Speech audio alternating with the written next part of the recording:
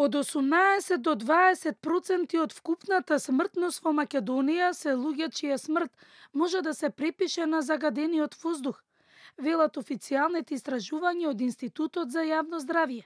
Професорката Миријана Димовска од Институтот за јавно здравје вели дека тоа е загрижувачко, бидејќи таа смрт можело да се спречи. Додека а, оние ефекти врз другите системи и органи, например во ракот на белите дробови, а, во нашиот случај 30, па не, во некои градови до 40% од вкупната смртност од рак на бели дробови може да се припише на загадениот воздух. Но никогаш не е доцна со превземање на долгорочни или барем среднорочни мерки кои што ќе бидат насочени кон главните извори на загадување, кои што се општо познати: загревањето, сообраќајот, делумно индустријата, ресуспензијата на почвата заради градежни активности. На Мексико Сити му биле потребни 15 години да се справи со аерозагадувањето. Ние сме свесни дека тие мерки не даваат веднаш плод Предходните денови загадувањето прво лошо влијаеше кај децата до 5 години, затоа и болниците се полни, потоа кај хронично болните и старите луѓе.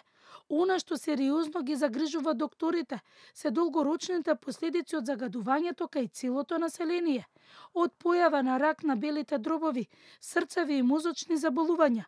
Најзагрижувачки е што загадувањето на воздухот бебињата ги добиваат уште во утробата кај нивната мајка. Тоа е една од главните причини за предвремени породувања. Деца кои што имаат понизок IQ коефициент од децата родени во чиста средина за 1 до 4 степени.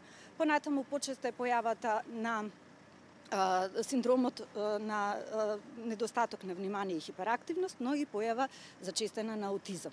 Значи не е проблем и врската, асоциацијата помеѓу аутизмот и вакцините, како што се плашат дел од нашите млади родители, да речам, туку постои доволен број докази дека аерозагадувањето се поврзува со аутизмот.